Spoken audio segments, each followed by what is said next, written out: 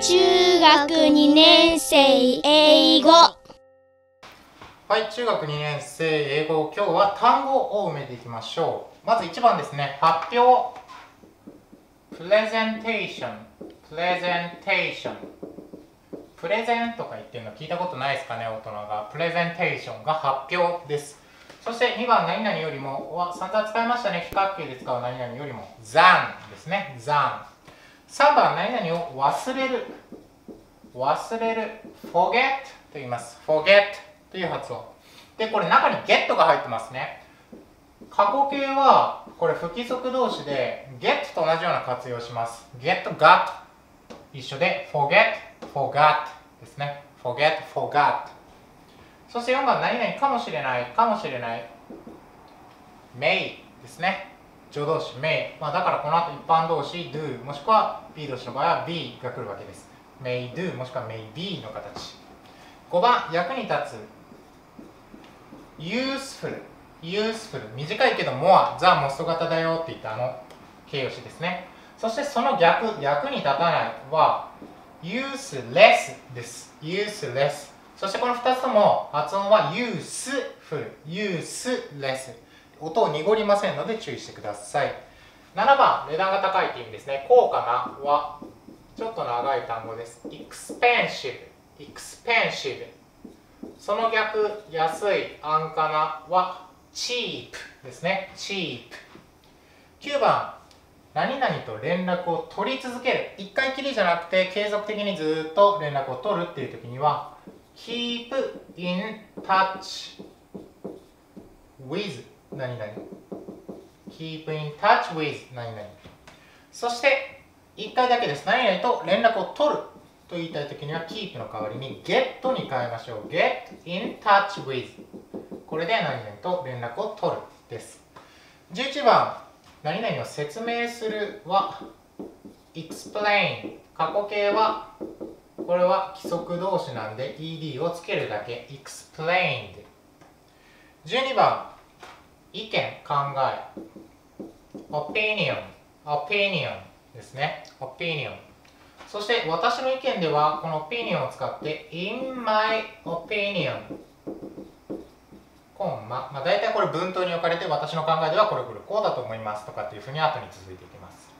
14、15これもセットですね。もう以前一回出てきたと思いますが便利な長い単語です。convenient convenient そして便利さ名詞は convenience t で終わる方は形容詞便利な。Ce で終わる方は名詞便利さです。convenient convenience 16a か b のどちらか。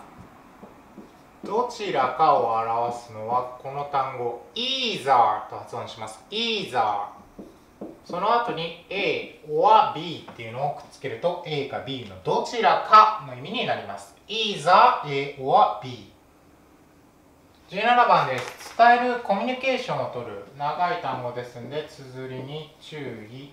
communicate communicate これで伝えるコミュニケーションを取るです。18番発音分かりづらかったら書いておいてください。certainly ですね。certainly かな。はい certainly は2つ意味を覚えてください。確かに。という意味とこれ単体で使われた場合にはもちろんこれ sure とか of course と同じように certainly だけでもちろんという意味を持つことができます。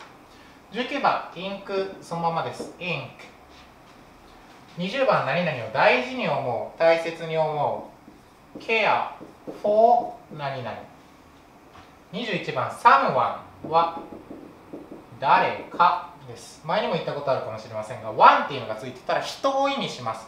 everyone やったらみんなやし no one は誰も何々ないでしたね。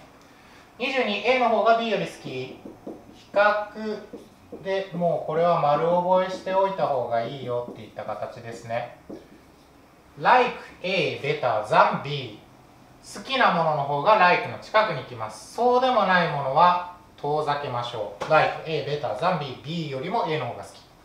そして23番。これも覚えておいてください。A が一番好き。一番と言いたければ like A 書いてこのベータの部分を最上級に変えます。The best like A The best で A が一番好きです。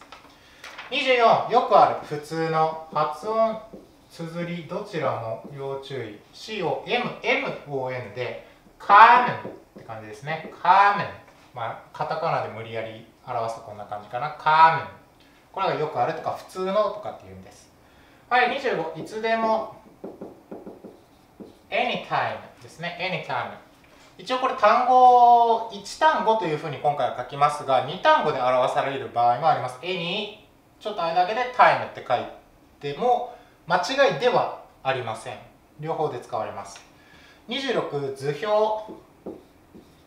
chart ですね。chart 27返事をする。respond respond 28 as SV S は主語。V は動詞のことですが、えー、この形で as 使われた時には S が V するように S が V するようにというふうに訳します。そして29じゃあこれが You know っていうふうに SV 入ったらどうなるか。あなたが知っているようにです。あなたが知っているように。まあ、ご存知のようにとかですね。そんな感じになります。30番個人的なパーソナルパーソナルですね。覚え方としては個人一人の人パーソンですよね。この AL がなければパーソンですよね。AL つくと形容詞になるっていう決まりがあります。パーソンに AL がついてパーソナル個人的なという形容詞。31と32セットなんですが31番の方は形容詞32番の方は動詞です。発音が違います。綴りは全く一緒ですが形容詞の方は close そして動詞の方は close です。濁ります。こっちは濁りません。close 形容詞の方は近い。そしてまあ人間同士の距離が近いっていう意味で心の距離が近いっていう意味で親しい。とかっていうふうに訳します。近い親しいがクロース。そして動詞クローズはもう皆さんも知っているように閉まる。もしくは何々を閉める。こんな意味になります。発音の、えー、違いしっかりとここで覚えておきましょう。はい33番 worse worse. bad の比較級 worse と綴りはちょっと違うんで気をつけてくださいね。Worse. 何々の価値があるっていうのが worse の意味です。これ形容詞ですね。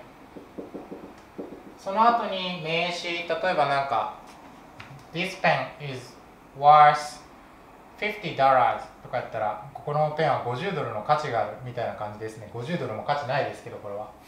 はい。でこんな使い方もします。34番。be worth doing その後に doing の形で動詞を置いて何々する価値があるというふうに訳します。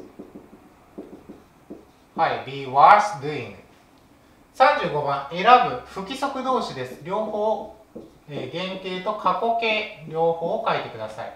choose, chose, O が1個減ります、過去形は。choose, chose 発音もちょっと変ですんで気をつけてくださいね。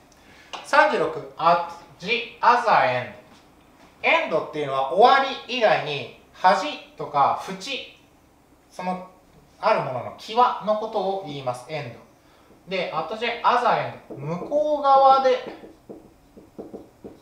ていう意味ですね。もう一方の円の端っこでだから向こう側で、まあ、道路なんかで言う言いますねこっち歩いてて道路さんの向こう歩いてる。とかという時あとじゃあザ円出てきます。37ライン列とか行、まあ、一列に並んだものを指します。それともう一個電話の回線電話回線というふうな意味で使うことがあります。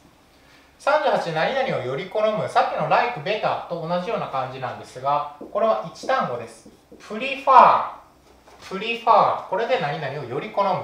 これ自体に2個比べたらこっちの方が好きやなっていう意味が含まれてます。何々をより好む。prefer でこれを使って39さっきの like A better than B と同じようなことが言えるんです。prefer の場合はただし than は使いません。